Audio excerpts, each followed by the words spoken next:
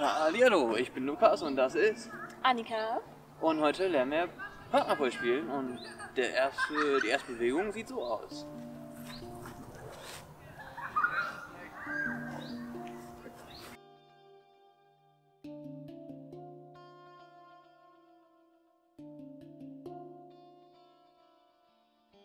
Und das Ganze nochmal in die andere Richtung.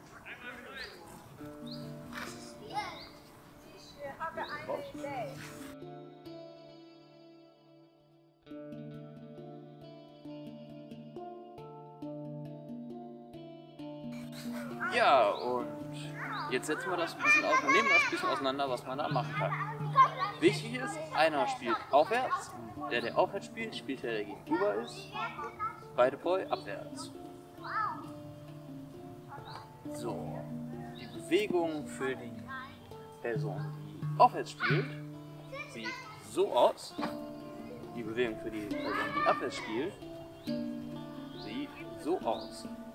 Jetzt machen wir das einmal trocken. Wenn ich aufwärts spiele, gehe ich an der Seite vorbei und drehe die Hüfte.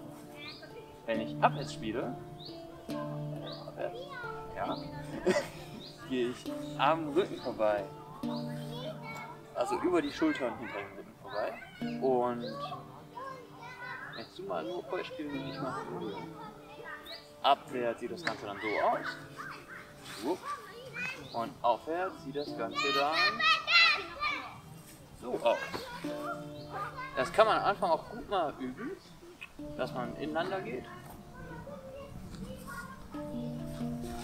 Und wieder aufeinander geht. Wichtig ist dabei, dass man sich der Hüfte so ein bisschen reindreht bei der Bewegung. Ähm, und dann kann man das ganz verbinden. Sprich, nachdem wir oben rübergekommen sind, anstatt jetzt wegzugehen, gehen die Arme von oben nach hinten rüber und dann wieder oben rum. Und jeweils dazu dreht sich die Hüfte so. Ja.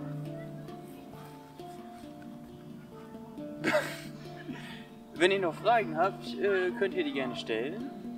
Jetzt zum Schluss nochmal, wie es aussieht.